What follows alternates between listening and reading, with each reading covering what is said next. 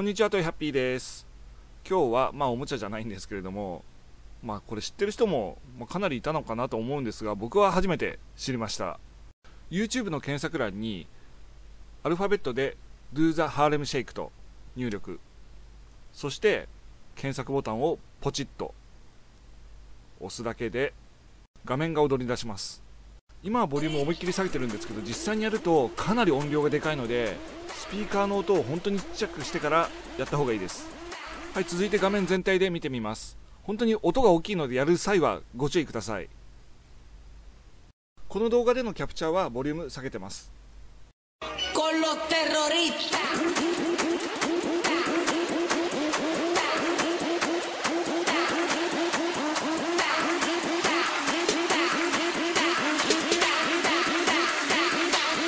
Do the Harlem Shake.